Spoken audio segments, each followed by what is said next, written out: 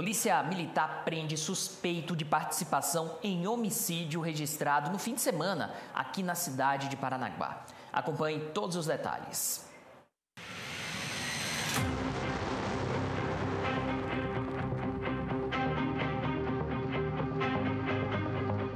Polícia Militar prendeu no último domingo um homem que é suspeito de participação na morte de Rafael Correia dos Santos, de 34 anos.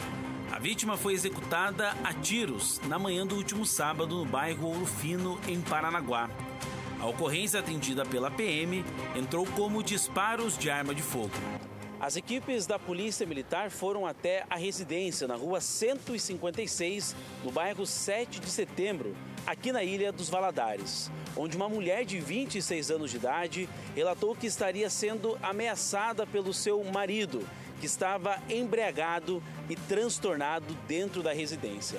Ainda de acordo com a mulher, o seu marido teria colocado uma pistola na mão da filha do casal de apenas 4 anos de idade e estaria ensinando a criança a dar tiros contra um muro.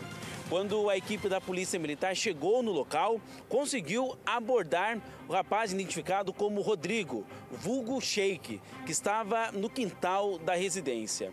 A arma e também entorpecentes foram apreendidos pelas equipes da Polícia Militar, encaminhadas para a delegacia. O rapaz também foi encaminhado. De acordo com informações apuradas com testemunhas, Sheik acompanhava o indivíduo que invadiu a casa na Rua das Ametistas na manhã do último sábado.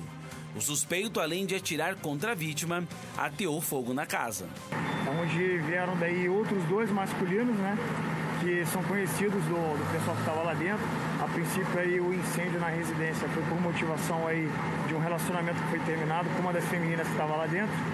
Os dois indivíduos chegaram, realizaram dois disparos de arma de fogo na perna de um cidadão que se encontra em código 4 agora, ali no, no local, e atearam fogo na residência.